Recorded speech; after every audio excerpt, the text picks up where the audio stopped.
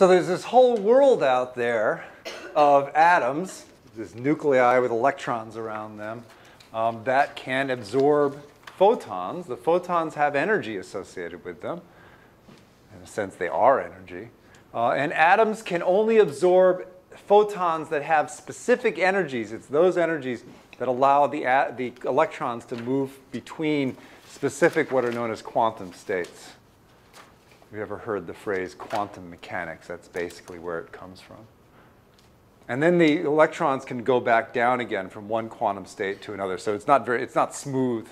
And as a consequence, different atoms, different molecules can absorb photons with different energies and, and getting back to plants. So there's certain photons that plants specifically absorb by their molecule called chlorophyll, bumping electrons from one energy level to another energy level. And, and those more energetic electrons are then captured and ultimately converted into chemical energy.